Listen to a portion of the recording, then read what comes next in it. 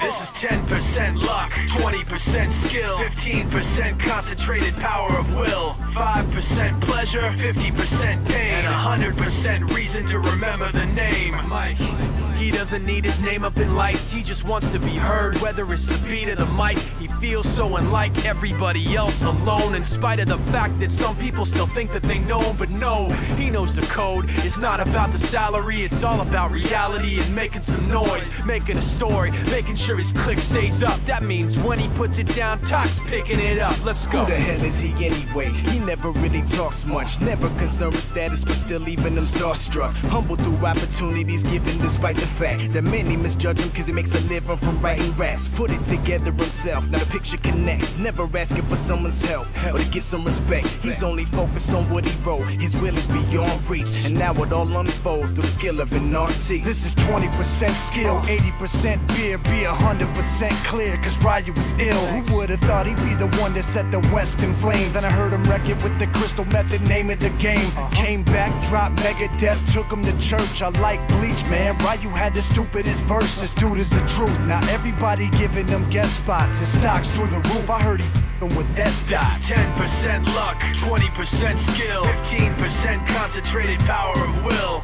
5% pleasure, 50% pain, and 100% reason to remember the name. They call him Ryu, he's sick and he's spitting fire and Mike got him out the dryer, he's hot. Found him in Fort Minor with talk, what a fucking nihilist porcupine. He's a he's a the type women wanna be within rappers. Hope he gets eight years in the making, patiently waiting to blow. Now the record with notice taking over the globe. He's got a partner in crime, his is equally dope. You won't believe the kind of that comes out of this kid's throat. top.